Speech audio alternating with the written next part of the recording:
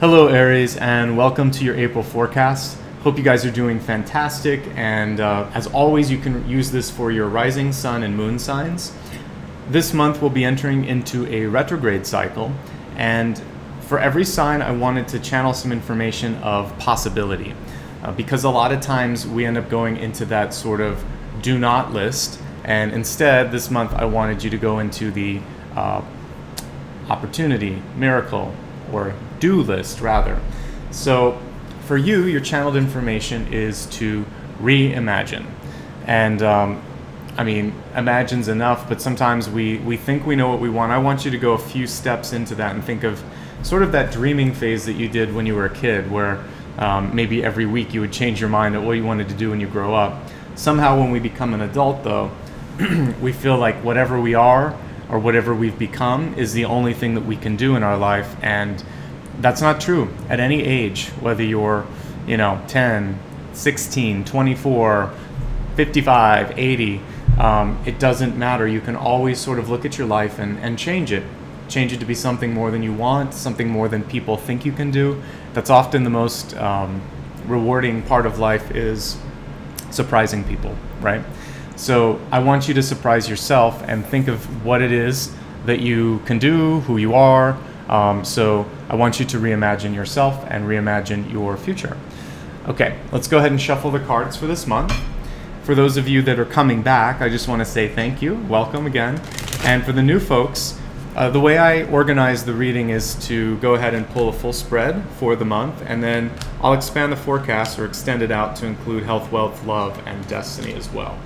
Uh, that allows me really to, to look at the main energy of the month without having to worry about hitting all of those areas because sometimes, you know, there's just one focal point for the energy in the month. But um, anyway, enough talking. Let's see what the cards have to say. And pull one additional card here, which is going to be your catalyst.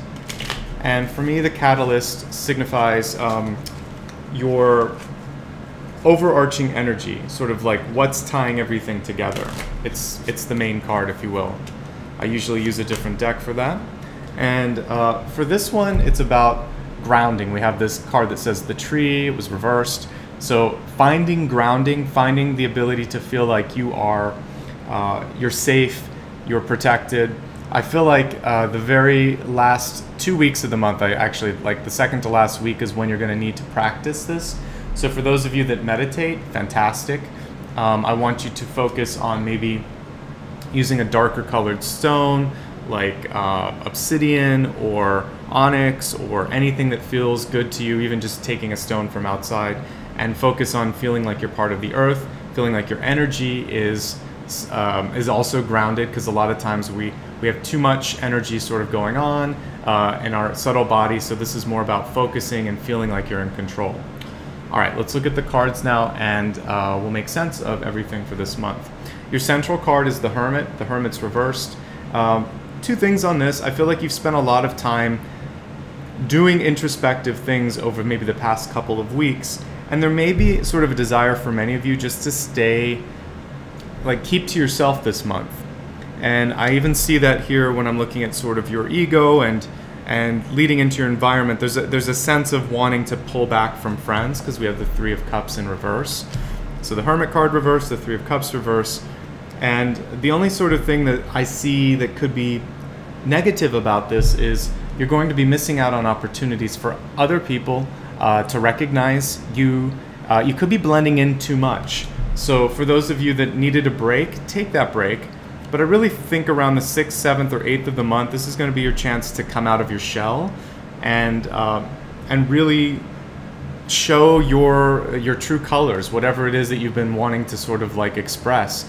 Um, it will be okay. We have the sun in reverse here. So there's a lot of muted energy here when it comes to expressiveness, um, communication, even the ability to sort of like not be seen. So I think what some of you need to do uh, over the first week of the month is focus on what's important to you. What, I mean, part of the reason you're going into this introspective cycle is you might have been spreading yourself too thin. A lot of times when I see the Seven of Cups, it shows me someone that is really good at multitasking, really apt at um, pulling in a lot of good opportunities, but sometimes has trouble saying no or pushing back when they're feeling overwhelmed. So, uh, one thing that you can do to allow yourself to be a little bit more social, a little bit more open for other people's energy is to sometimes just say no to um, if you're feeling overloaded at work, if you're in one too many activities, and uh, basically once you recuperate your your own personal reserve of energy, and also once you focus on only two or three things rather than you know half a dozen, suddenly you're going to be able to come out of your shell a little bit. You're going to feel uh, more like you're part of the world. But what happens is if we're spreading ourselves thin, if we're helping everybody, at the end of the day, we just want to like not even sometimes watch the TV, just go to bed. And so I need you to sort of reset and uh, and allow for yourself to have more to give. Now, if you are someone who doesn't need a lot of rest and uh, you love being busy, this card is saying no problem with that, but there's still going to be um, a trade off when it comes to your effectiveness on doing everything. So if there's one or two things that need your attention, just prioritize those and you can still lead a very active and busy life. Okay, enough said with that. Uh, one last thing though, actually, with the Hermit card, uh, it is a great time for spiritual growth. That is one of the, the things that I see with that. Also, it's leading into the, the Hierophant, which shows me, again, meditation can be a great sense of stability for you, a great place to go and find that quiet space. Um, looks like emotions are, uh, it's kind of split between the beginning of the month.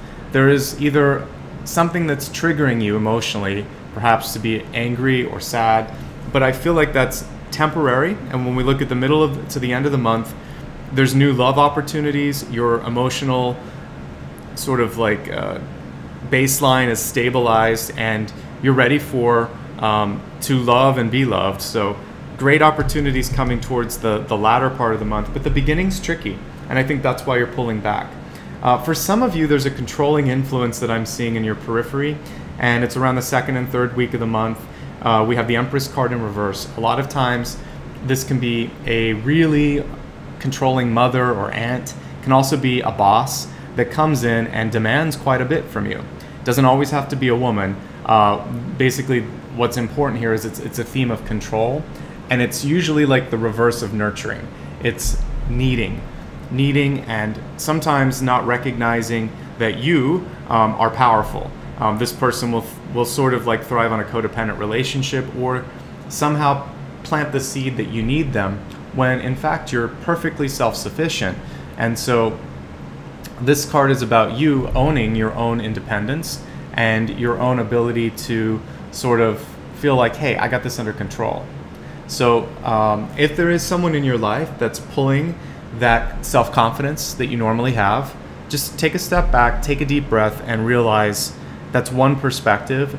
And also, if you spend too much time around that person, uh, or because we have these very sort of controlling cards the Hierophant, the Hermit, and this pulling back from socializing, for some of you, that could be, be uh, that could be sort of based on this person's demands. Either they want too much of your time or they make you feel guilty for going out. Sometimes when you're around um, either a narcissist or a person that just is, like I said, codependent or very demanding. They'll make you feel guilty when you have um, social life or uh, things that are going on in your life that are healthy and normal for most people.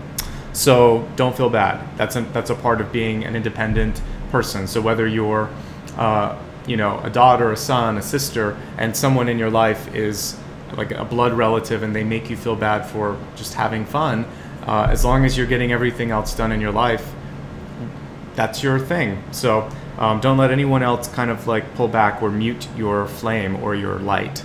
Um, the other thing that I see here, again, there's some very strong personalities around you this month. This one comes through as more masculine.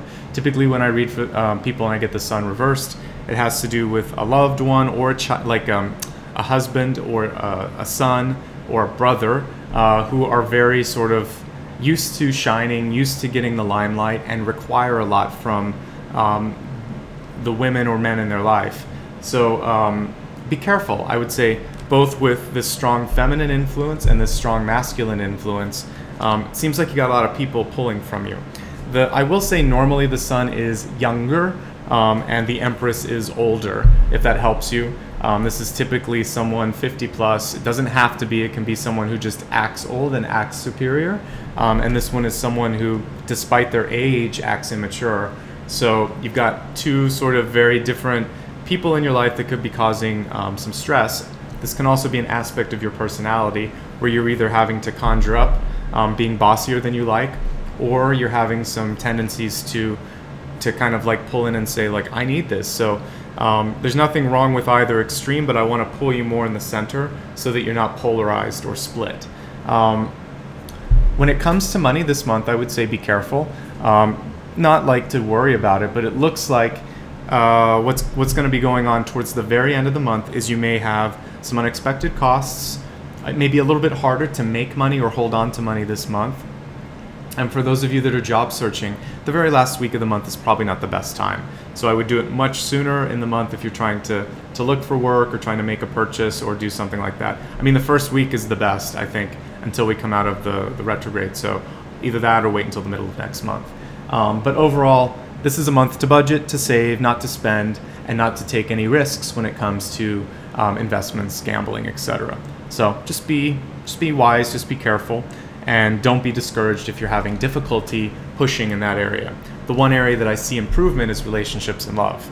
So there's always um, a little bit of give and take with the energy of the, each month. So opportunities, money, and material stuff, a little harder to reach. Um, emotional stability, love, and uh, general happiness seems like it's more within reach. And to me, that's not a bad trade off.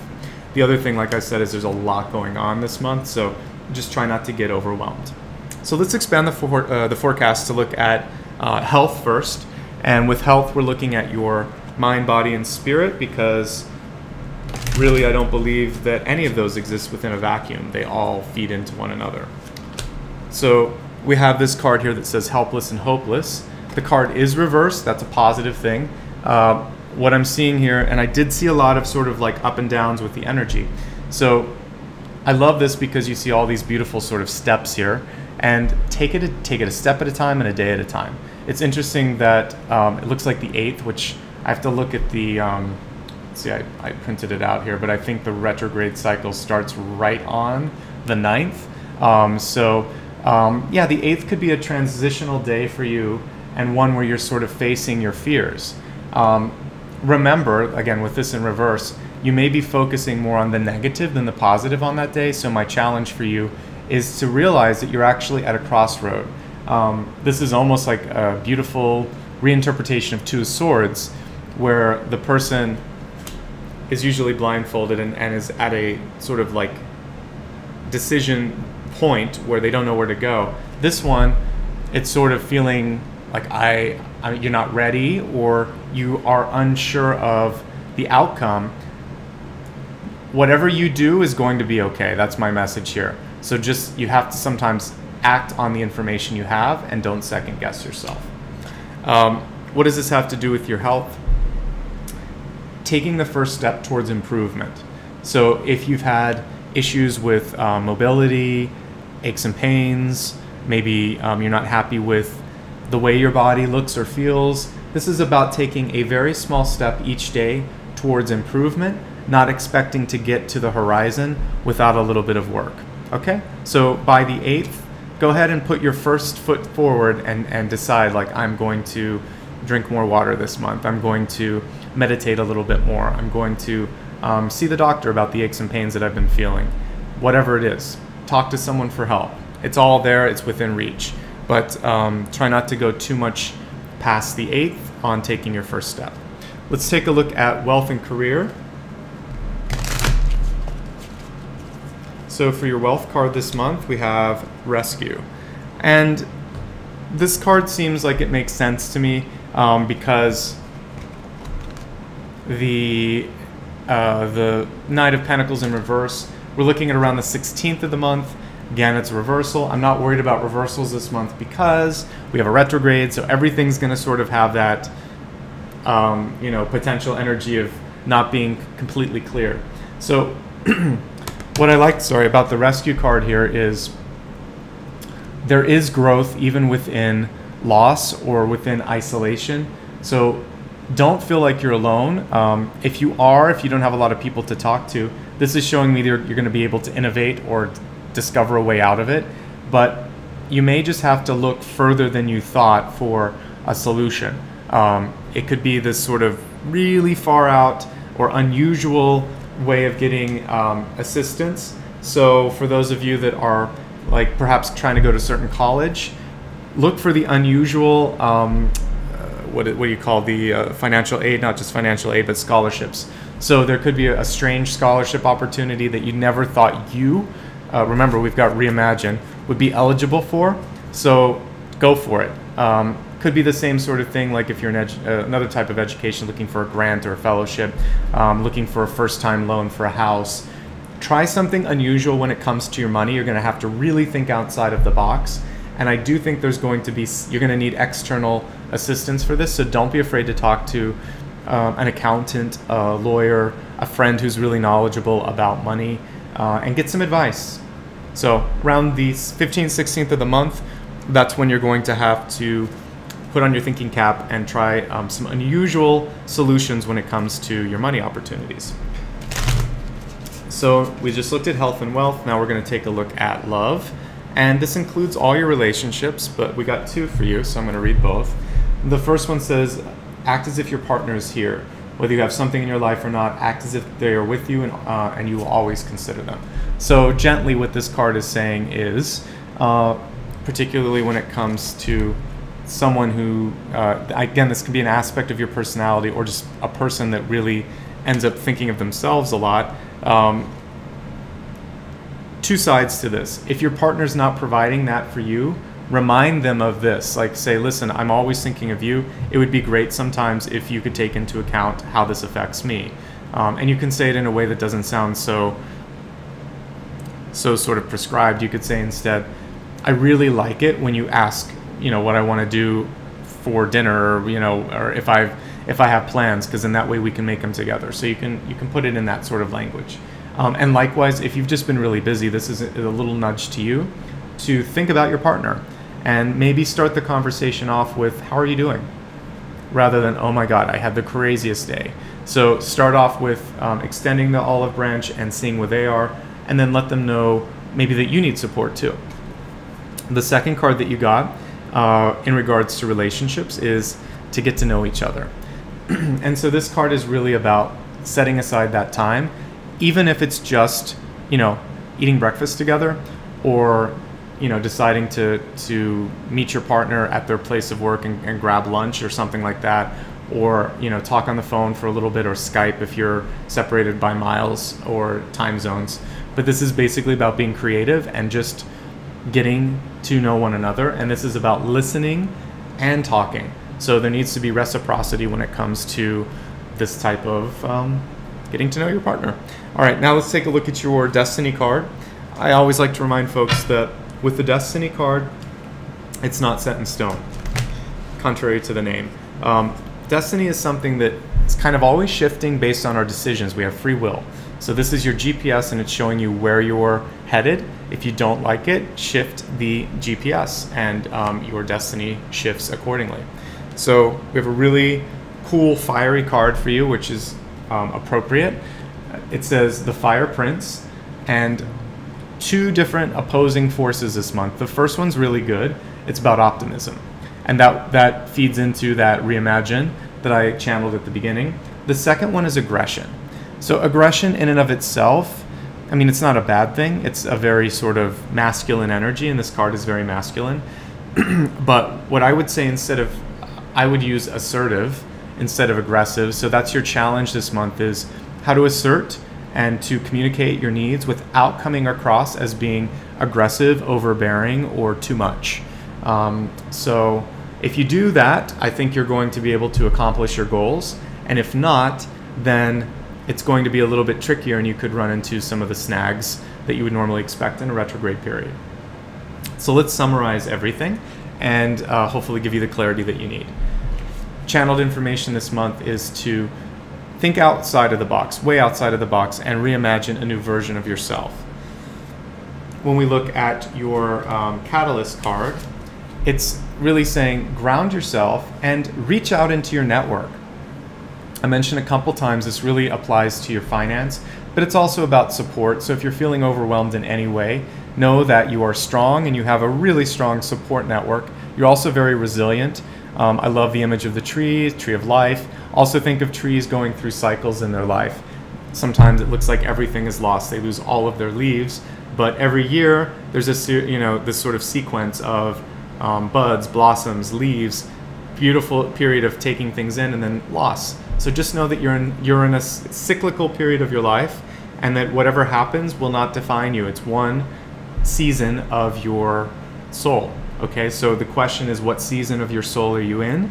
Um, this one actually looks like it's you know it's in the warming up phase and getting ready to grow. Okay, you've put in the work, you have the the stability, so allow yourself to blossom and feel um, all the beautiful light that's around you. Okay, as we look at the again, just to review the overarching energy of the month, you've got some decisions to make.